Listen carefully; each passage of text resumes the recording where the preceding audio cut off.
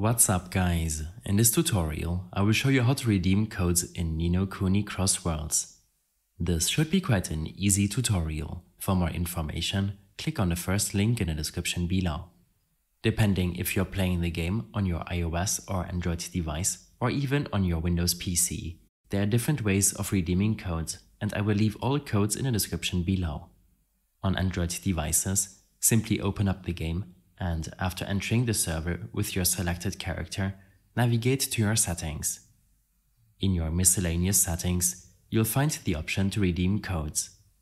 I'm using an iOS device, and to redeem codes on this device, you will have to visit the official code redemption site of the game. Here, enter your member code and the coupon code in order to get the gold and items for your character. In case you have any further issues or problems following this tutorial, then I suggest following my extensive guide linked in the description below. I hope this helped you out.